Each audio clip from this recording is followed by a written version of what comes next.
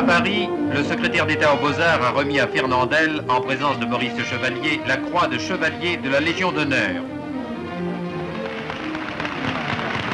Le nouveau légionnaire a obtenu dans ce rôle en or un succès retentissant et toutes les vedettes de la scène et de l'écran avaient tenu à venir l'en féliciter. Et aujourd'hui, Don Camillo porte sa croix avec fierté.